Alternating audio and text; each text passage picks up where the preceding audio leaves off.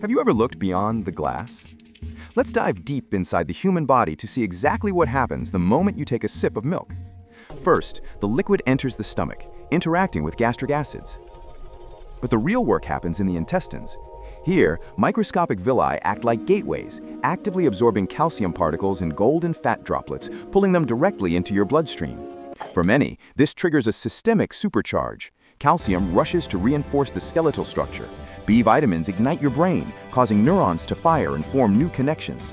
Simultaneously, proteins integrate into your muscle fibers, repairing tissue and making them glow with strength. Deep in the gut, beneficial bacteria thrive on the enzymes, creating a healthy, glowing microbiome. It's a cycle of energy and repair. But the story changes if your biology fights back. Without the right enzymes, the stomach lining becomes inflamed and swollen, causing gas and distress. For some, it triggers an immediate immune response, releasing histamine and causing allergic reactions on the skin. And be careful, a rapid flood of lactose can cause a dense spike in blood sugar.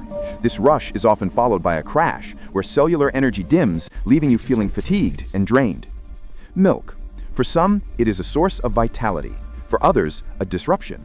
It all depends on the unique landscape inside you.